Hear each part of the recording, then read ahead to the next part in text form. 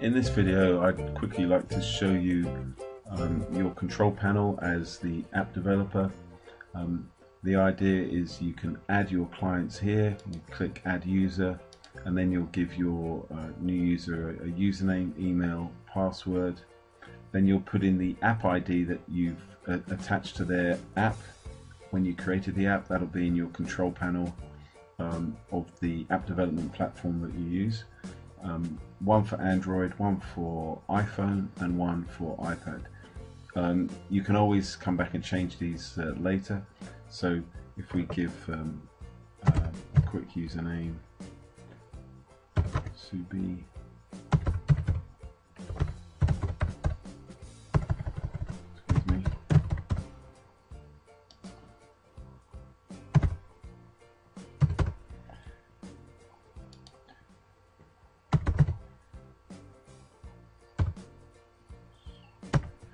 just create um,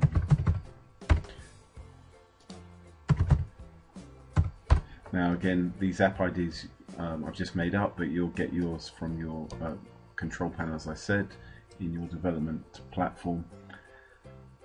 Um, once you've done that you just click register. And it will say new user is added. You'll be able to see them here. If you click edit users you'll see the new user here. If you want to edit any of her details just click on the edit button and you can edit any of the details. Once the new user is added, um, then your client can log in and uh, uh, send push notifications whenever they want. We'll come in uh, back to that later. Um, you can also change your password that logs into uh, your pushnote server account here. Um, on add edit app ID this will be um, to put your um, app developer ID that you that you have with your app development platform and also the password that you use to log into that platform. Uh, Pushnote server doesn't log into your um, platform at all but it requires those details in order to uh, send the push notifications through your apps.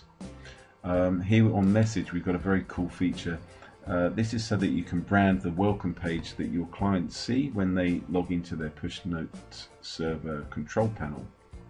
Um, you can put a, a, message, you then can upload a, uh, an image, and you can put your business name and then just click add message and it will appear in your client's uh, control panels that we'll come to in a minute. Um, there's a help page here and of course you just click log out when you're finished adding your clients or, or reviewing them. Okay, that's it for this video. Thanks very much.